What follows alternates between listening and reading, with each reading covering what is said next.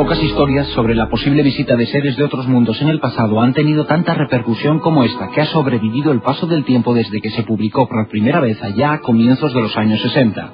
La historia a la que en alguna ocasión ya nos hemos referido nos remonta al año 1938 y nos conduce a la frontera entre China y el Tíbet, a una región llamada Bayan Karaulá. Fue entonces y allí cuando una expedición científica hizo un espectacular descubrimiento que podría demostrar que en el pasado la Tierra fue visitada por seres de otros mundos.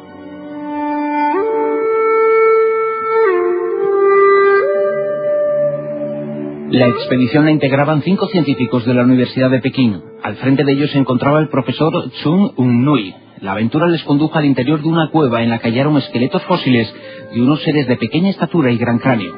Pero no fue lo único con lo que toparon allí. Junto a los huesos había un total de 716 discos con runas y símbolos. Los expedicionarios tradujeron de regreso a Pekín aquellos jeroglíficos. El resultado fue sorprendente. Venían a decir que hace unos 12.000 años seres venidos desde fuera de la Tierra habían alcanzado aquellos lares.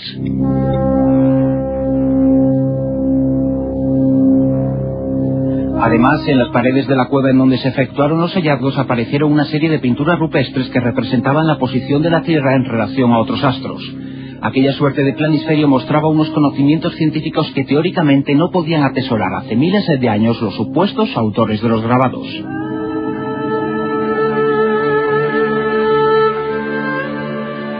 Universidad de Pekín mantuvo un férreo secreto sobre aquella historia hasta que a comienzos de los 60 un periodista alemán afincado en Japón tuvo acceso a la información.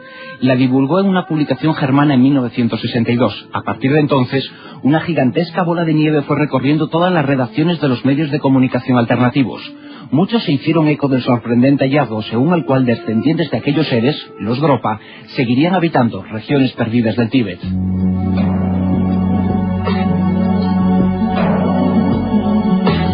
Hoy en día podemos encontrar muchas revistas científicas, infinidad de ensayos y múltiples referencias sobre la historia de los Dropa. Para muchos aquellos hallazgos son una prueba incontrovertible de que fuimos visitados por seres de otros mundos que influyeron directamente en las antiguas civilizaciones como la China. Pero la verdad, esta vez, parece otra.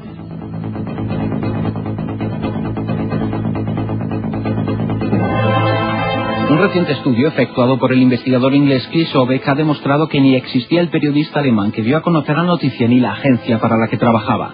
Tampoco existieron los científicos a los que se atribuye el hallazgo. Todo fue un bulo, un invento que alcanzó crédito cuando una respetada publicación rusa, la revista Sputnik, publicó el asunto a finales de los 60. Por si fuera poco, una década después se publicó un libro, Dioses Solares en el exilio, en el que se presentaban las fotografías de los discos pétreos hallados.